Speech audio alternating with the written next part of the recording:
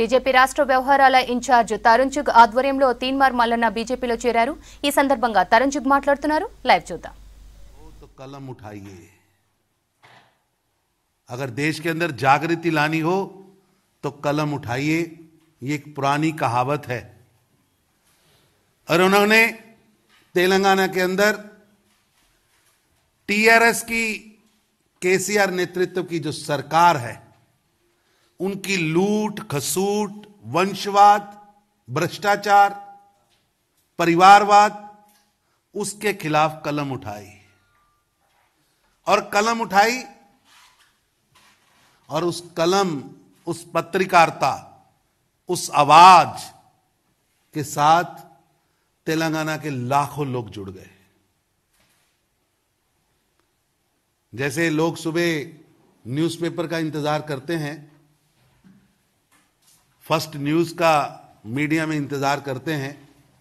आजकल तो flash news का इंतज़ार रहता है। वैसे ही तेलंगाना की युवा जनता तीन मार मलाना की न्यूज़ का इंतज़ार करती है। वो कब लाइव होगा, क्या विषय लेगा? और फिर छात्र, विद्यार्थी, आम नवयुवक उसको फॉलो करता इन्होंने अभी एमएलसी का चुनाव आज़ाद लड़ा। इंडिपेंडेंट कैंडिडेट के नाते लड़ा। और आप हैरान होंगे कि इनको एक लाख उनंजा हज़ार ग्रेजुएशन, ग्रेजुएट कॉन्स्टिट्यूंसी में से वोट मिले। यानी तेलंगाना के एक लाख उनचास हज़ार वरंगल, खम्मम, नालगोंडा ग्रेजुएट कॉन्स्टिट्यूंसी के नौजवानों ने, पढ़े लिखे लोगों ने इनको वोट डाला। एक बहुत बड़ी शख्सियत, लेकिन इन्हें पत्रकार होने का, सच्चे पत्रकार होने का, कलम की आवाज़ उठाने का, वहाँ की जनता की मुद्दे उठाने का बहुत बड़ी सजा मिली। क्योंकि केसीआर के भ्रष्टाचार को नंगा करना है तो आपको लाठी भी खानी पड़ेगी, आपको जेल भी जाना पड़ेगा, आपको पुलिस का उत्पीड़न भी करना पड़ेगा, सहना पड़ेगा। संजय बंडी जी हमारे साथ बैठे हैं। इन्होंने एक विशाल पैदल यात्रा की शुरुआत की है 200 दिन की पैदल यात्रा। आज के युग में जब दुनिया व्हाट्सएप और मेल पर है, ऐसे समय में जब कोई स्कूटर, मोटरसाइकिल पे सब्ज़ी लेने जाता है, ऐसे समय में जनता के बीच गाँव गाँव जाने के लिए तेलंगाना की सरकार के खिलाफ, तेलंगाना की जनता की आवाज़ को बुलंद करने के लिए यात्रा निकाली। और आप हैरान होंगे क्योंकि दक्षिण की खबर यहाँ कम छपती है। इनके ऊपर कितने हमले हुए, कितनी गाड़ियाँ जली, इनको पुलिस ने कितना पीटा हमारी यात्रा के अंदर चलने वाले। हर व्यक्ति को हमारे वहाँ चारों सांसद हैं। चारों सांसद को आप गूगल पर सर्च करिए, चारों के चारों सांसद। इवन कैबिनेट मंत्री किशन रेड्डी वहाँ से आते हैं। उनके ऊपर भी किस तरह हमले होते हैं?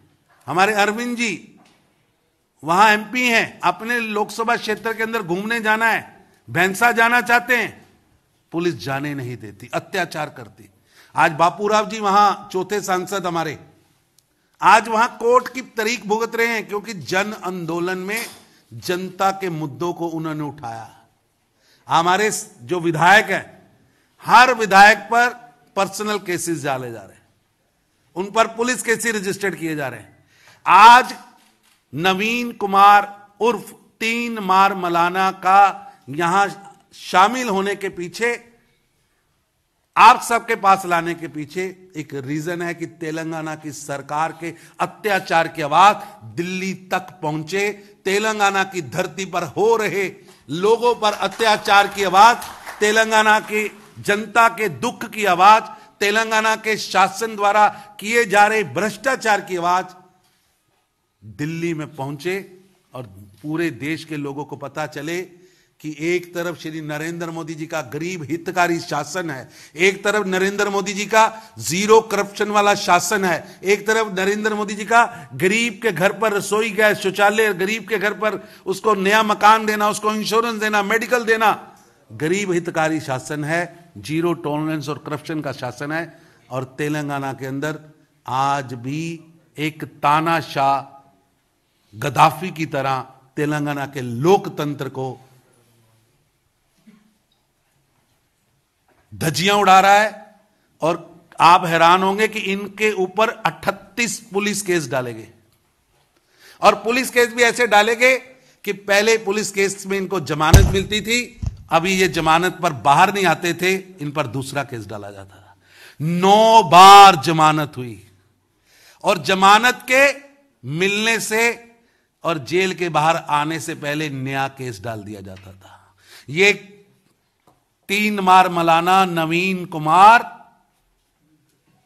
तेलंगाना शासन की, अत्याचार की, जीती जागती कहानी कहने के लिए आज आपके पास आए हैं। और जन समर्थन इनके पास क्या है?